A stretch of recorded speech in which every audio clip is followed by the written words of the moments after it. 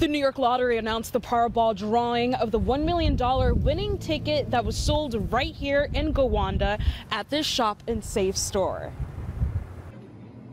With each beep comes 1 million dreams. Very exciting. We've never sold this big of winner. We're super excited. Well, that's what happened here in Gowanda. There's a Powerball winner that has a golden ticket worth $1 million. Everybody's talking about it. Everybody wants to know about it. We've had a lot of phone calls. This is a big deal for our small town. This is a big deal.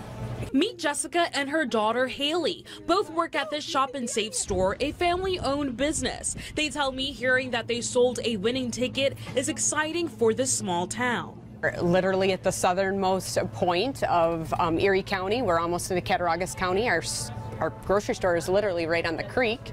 Um, and it's fun. Nothing ever really exciting happens down here, so we were excited to, to know that we sold the winner. But there's something missing. We'd like to know who it is. Yeah, yeah, we would totally like to know who it is if, if we could ever get the information. Whoever that winner is, Wasn't me.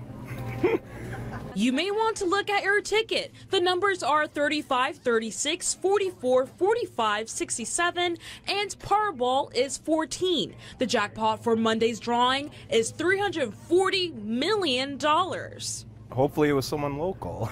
and not someone passing through.